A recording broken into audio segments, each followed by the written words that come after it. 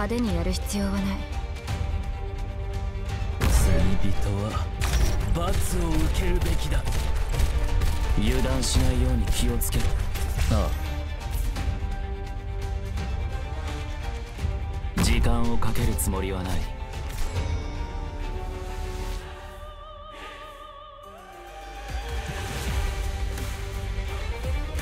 ところが何も起きていない。私は闇より現れる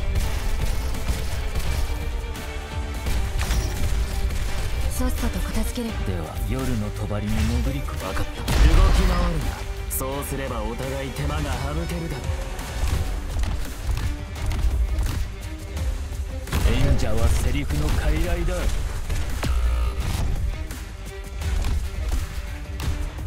祈りは不要です。何を片付ければい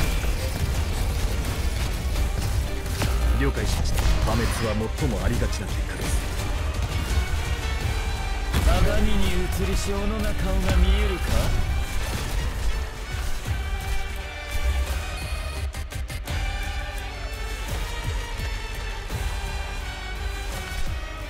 これで静かになってくれる？聞け。私の声歌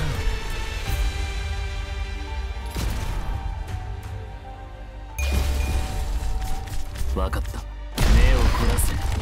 これこそがイベリアのデストレッツァ了解しました。Mission accomplished. 爆発や歓声の伴わない戦闘にはなかなか慣れないな。帰ろう。仕事の後の一杯は遠慮しておく